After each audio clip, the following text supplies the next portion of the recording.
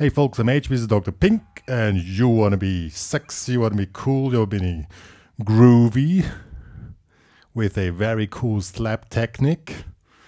This is the tutorial to go, and let's see how it sounds.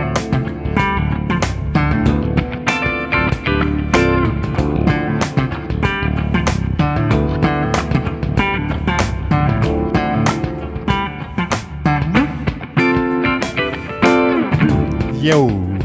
Well folks, during this tutorial I will not sit down because it's a groovy thing and the stuff is very easy to play. The guitar is tuned on a drop D tuning, meaning the low E string is tuned down to a D. So now the, the figure which is played or the slap technique which is used is very simple and um, basically it's coming from bass technique. So thumb comes down on the on the low D string. And now you press here in the fifth fret of the A string. Now thumb goes on the open. Somehow, wait, let me switch off the delay. And you make a hook with your finger. See the hook? and you make like duck, duck. It's an angle here. Thumb down, hook up, thumb down, hook up. That's all. So we do thumb, hook, th fifth fret, thumb, third fret, hook, thumb, fifth fret, hook, and we move up also to the D string. Also fifth and third fret.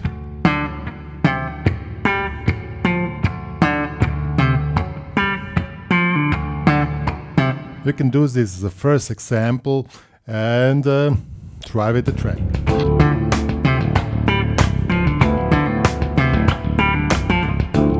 Very easy. There's another trick. You already heard it's a slide pull off. So when you hear the fifth, see?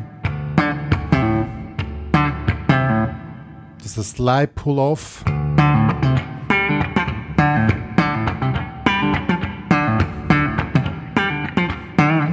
Yeah, very simple. Now we add some chords. Very simple.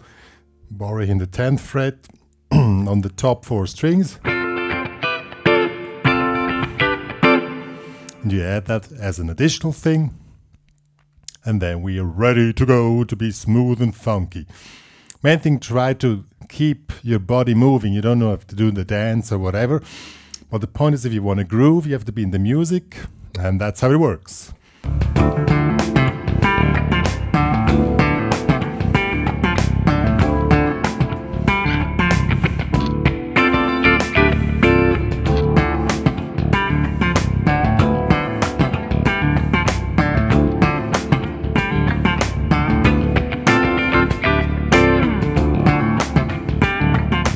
Yeah, that was this very short and cool and funky and sexy tutorial about slap technique. Remember to take from bass, playing thumb on the low D string and do the hook with your index finger and then that's it. And the rest is just you have to be smooth, you have to be funky, you want to go for phone numbers. If you play it smooth, if you move smooth and you play it, you will get your phone numbers, believe me that.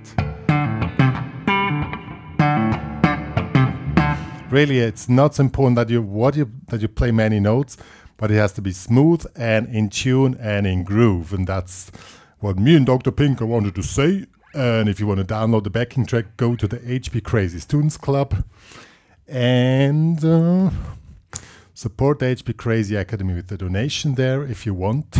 And uh, follow me on Spotify, on Facebook, or on Instagram, Hans-Peter Crazy. Yeah, that's what me and Dr. Pinker wanted to say. Yeah, see ya and stay groovy.